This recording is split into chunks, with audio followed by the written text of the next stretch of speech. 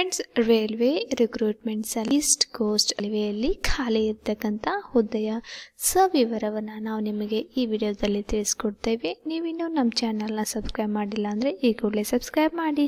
Bell icon ಮೇಲೆ hit ಮಾಡಿಬಿಟ್ಟು ನಾವು ಹಾಕುವಂಥ ಎಲ್ಲ ವಿಡಿಯೋಗಳನ್ನು ಆದಷ್ಟು ಬೇಗ ಪಡ್ಕೊಳ್ಳಿ. ಫ್ರೆಂಡ್ಸ್ ನೀವು ಇಲ್ಲಿ ನೋಡ್ತಿರ್ಬೋದು ಸ್ಪೋರ್ಟ್ಸ್ ಕೋಟಾ ನೋಟಿಫಿಕೇಶನ್ ಅಂತ ಬ್ಲಿಂಕ್ ಬರ್ತಾ ಇದೆ. ಸ್ಪೋರ್ಟಲ್ಲಿ ಅಪ್ಲಿಕೇಶನನ್ನು ರಿಕ್ರೂಟ್ ಮಾಡ್ತಾ ಇದ್ದಾರೆ. ಈ ಅಪ್ಲಿಕೇಶನ್ಗೆ ಏನೇನು ಬೇಕು? ಸೊ ಯಾರು ಅನ್ನೋದನ್ನು ನಾವು ಡೀಟೇಲ್ ಆಗಿ ತಿಳಿಸ್ಕೊಡ್ತೇವೆ. ಕೊನೆಯವರೆಗೂ ನೋಡ್ತಾ ಇರಿ. ಇನ್ನು ನೀವು ಯಾವಾಗ ಈ ಅಪ್ಲಿಕೇಶನ್ ಹಾಕಲಿಕ್ಕೆ ಸ್ಟಾರ್ಟ್ ಮಾಡ್ಬೋದು ಅಂತಂದರೆ ನಾಲ್ಕು ಹನ್ನೆರಡು ಎರಡು ಸಾವಿರದ ಹತ್ತೊಂಬತ್ತರಿಂದ. ಸೊ ನೀವು ಈ ಅಪ್ಲಿಕೇಶನನ್ನು ಹಾಕಲಿಕ್ಕೆ ಪ್ರಾರಂಭ ಮಾಡ್ಬೋದು. ಇನ್ನು ಕ್ಲ ಕೊನೆಯ ದಿನಾಂಕ ಯಾವಾಗಪ್ಪ ಅಂದರೆ ಮೂರು, ಒಂದು, ಎರಡು ಸಾವಿರದ ಇಪ್ಪತ್ತು. ಇವಾಗ ಕಂಪ್ಲೀಟ್ ಆಗುತ್ತೆ. ಟೋಟಲ್ ವೇಕೆನ್ಸಿಗಳು ಇಪ್ಪತ್ತೊಂದಿದ್ದಾವೆ ಇನ್ನೊಂದು ಇಂಪಾರ್ಟೆಂಟ್ ನೀವೇನು ತಿಳ್ಕೊಬೇಕಂತಂದರೆ ಇಲ್ಲಿ ಯಾವುದೇ ರಿಸರ್ವೇಷನ್ಸ್ ಇರಲ್ಲ. O B C S C S T E W S community ಕ್ಯಾಂಡಿಡೇಟ್ಸ್ಗಳಿಗೆ ಯಾವುದೇ ರಿಸರ್ವೇಷನ್ಸ್ ಇರುವುದಿಲ್ಲ ಅನ್ನೋದನ್ನು ಇಲ್ಲಿ ಹೇಳಿದ್ದಾರೆ ಇನ್ನು ಐದು ಪೋಸ್ಟ್ಗಳು ಲೆವೆಲ್ ಫೋರ್ ಬಾರ್ ಫೈ ಅಂತ. ಸೊ ಇದರಲ್ಲಿ ಬರುವಂತಹ ಯಾವ ಅಂತಂದರೆ ಅಥ್ಲೆಟಿಕ್ಸು, ಮೆನ್ ಅಂತ. ಇದರಲ್ಲಿ ವೇಕೆನ್ಸಿ ಒಂದಿದೆ. ಅಕ್ವಾಟಿಕ್ಸ್ ಸೊ ಇದರಲ್ಲಿ ಮೆನ್ ಸ್ವಿಮ್ಮಿಂಗ್ ಎರಡು ವೇಕೆನ್ಸಿ ಬಾಕ್ಸಿಂಗ್ ವುಮೆನ್ ಒಂದು ವೇಕೆನ್ಸಿ ಇದೆ. ಇನ್ನು ಬಾಕ್ಸಿಂಗ್ ವುಮನ್ ಒಂದು ವೇಕೆನ್ಸಿ ಕಬಡ್ಡಿ ಒಂದು ವೇಕೆನ್ಸಿ ಟೋಟಲ್ ಬಂದುಬಿಟ್ಟು ಐದು ವೇಕೆನ್ಸಿಗಳಿದ್ದಾವೆ ಇನ್ನು ಹದಿನಾರು ಪೋಸ್ಟ್ಗಳು ಎಲ್ಲಿದ್ದಾವೆ ಅಂದರೆ ಲೆವೆಲ್ ಟೂ ಬಾರ್ ತ್ರೀ ಅಂತ.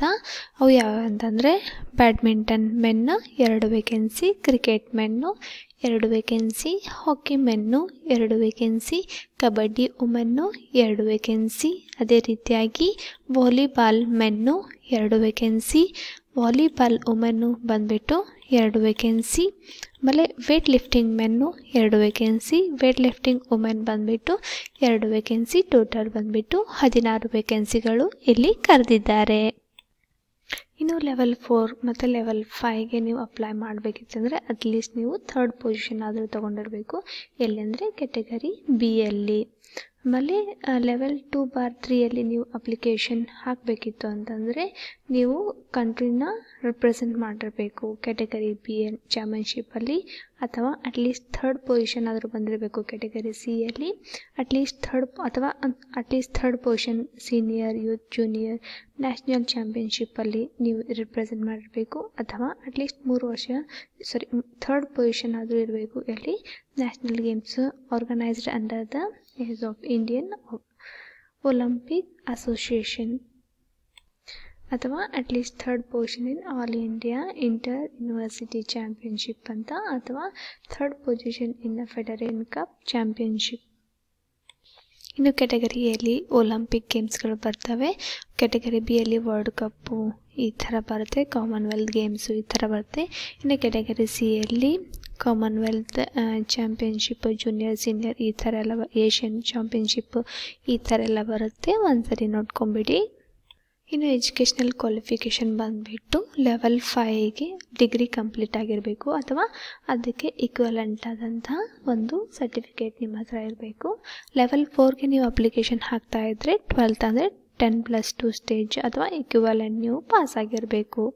ಇನ್ನು ಲೆವೆಲ್ ಟು ಮತ್ತು ಲೆವೆಲ್ ತ್ರೀಗೆ ಟ್ವೆಲ್ತ್ ಪಾಸ್ ಆಗಿರಬೇಕು ಅಂದರೆ ಟೆನ್ ಪ್ಲಸ್ ಟು ಸ್ಟೇಜು ಅಥವಾ ಈಕ್ವಲೆಂಟ್ ಎಕ್ಸಾಮಿನೇಷನ್ ಪಾಸ್ ಆಗಿರಬೇಕು ಅಥವಾ ಮೆಟ್ರಿಕ್ಯುಲೇಷನ್ ಪಾಸ್ ಆಗಿರ್ಬೋದು, ಆಗಿ ಮತ್ತು ಐ ಟಿ ಎಸ್ ಸರ್ಟಿಫಿಕೇಟನ್ನು ಹೊಂದಿರ್ಬೋ, ಹೊಂದಿರಬೇಕು ಅಥವಾ ಮೆಟ್ರಿಕ್ಯುಲೇಷನ್ ಪಾಸ್ ಆಗಿರಬೇಕು.